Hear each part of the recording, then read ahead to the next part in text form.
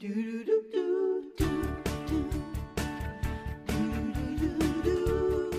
are continuing our countdown to Christmas keepsake ornament giveaway, and we're missing a Matt. So I Yes. guess the other Matt is over there. Matt, what do you have for us today? So I am sure you can all guess what this little snowman stands for right here. All of our troops are obviously near and dear to my heart and everyone's hearts out there, so we should all be remembering our troops throughout the holidays. Here you go. Absolutely. We should always remember, not only through the holidays, but year round.